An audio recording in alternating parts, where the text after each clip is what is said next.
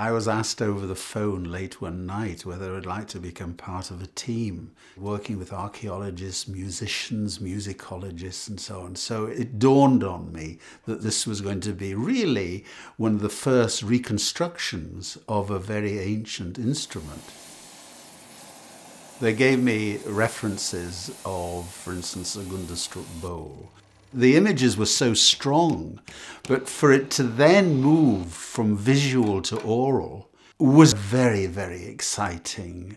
Uh, starting to make it, the, the head, the main head was the first. So we, we made up this large tube and and there were sections of that running along. It just wasn't just one long piece. There was the snout element, and then there was the head with the eyes into it, and then there was a part at the back of that, another tube which fitted against it, and the tubes coming together all had a flange running around them, so that when they butted together, you could put rivets through the way that I have worked it is that I, I make the head as a circular, large circular tube, and then I need to work from the inside out. I need to stretch the parts that are going to be in relief.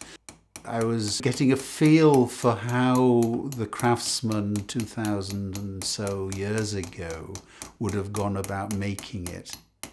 The back of the head is like a, a shallow dish and that would be worked in the same way by sinking and stretching the metal, but also what we call raising, that is around the, the edge of the metal, we would actually compress with, with mallets to actually make it a little bit deeper, this, this dish. So that's a very typical silversmithing technique, technique of raising. We've done two things really in making mouthpieces. We've uh, made a mouthpiece by casting, by melting the metal and pouring it into a mold.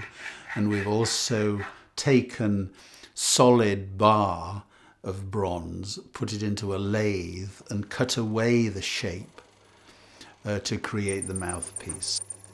You're following in their footsteps and you're using your skills which are absolutely identical to what they would have used in those days to make such a supreme object.